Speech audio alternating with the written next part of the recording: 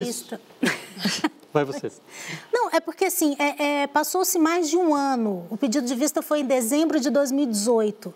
De lá para cá, Moro virou ministro, né, saiu da magistratura, entrou na política, já saiu do Ministério. A Lava Jato está numa fase de berlinda, está sendo questionada uhum. e pode voltar ao julgamento agora. Essa demora no pedido de vistas pode ter favorecido o ex-presidente Lula?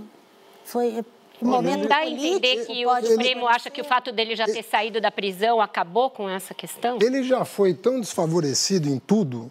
Né? Uma pessoa que não era réu não tomou posse do cargo de ministro-chefe da Casa Civil, nem réu ele era.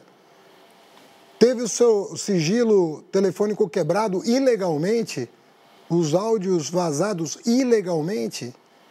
Se for enumerar aqui a quantidade de ilegalidades que foram cometidas, é uma quantidade, não é uma. Não é? Não estamos falando de uma ilegalidade. Agora, isso tudo vai ser processado, isso tudo vai ser passado em pratos limpos. Vai vir, a verdade vai vir à tona. Só não virá à tona se a gente desistir dela. Prefeito. Se nós desistirmos da verdade, talvez ela nunca venha à tona. E talvez, se insistirem nela, percam outra eleição, não? Hum. Talvez o quê? Se insistirem tanto nessa verdade, percam nova eleição é, e o Bolsonaro o senhor, se reeleja. Porque o senhor Olha, diz que é, quer tem, que... Tem coisas que estão acima... Não, aí, peraí, né? não existe só o PT. Né? Existe o PT, existe o PSD. Mas o senhor diz, mundo, prefeito, que né? quer que o... Se o Bolsonaro tá for eleito ou reeleito, não é por culpa do PT. O senhor diz que está lutando...